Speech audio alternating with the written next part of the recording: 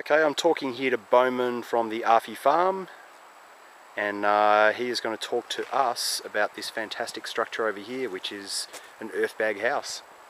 Yeah, so this is our earth bag um, house that we're just getting started with. Uh, amazing way to build, eh? No doubt. Um, cheap. Um, it's quite quick. Yep. Like, and the best thing is that you don't have to be a builder to do it. Okay. So, um, you know, you can get your kids and family, your mom, you know, everybody can jump in there and get involved. And the more people, the better. It's a fun, fun way to build. And um, so what we have is we have four rows of cement, and then we've got um, pumice is our local material here. So we're we're just doing it with pumice. Okay. Filling it with pumice. It's a great medium because it compacts well. Yep. And it's insulative. And it's very lightweight, isn't it? Very lightweight. So, And then over the top, we plaster it with a lime plaster, okay. and, um, and that gives it a lot of structural strength as well. So in terms of the structure you've got here so far, how much more, um, like how much, how long did this take so far?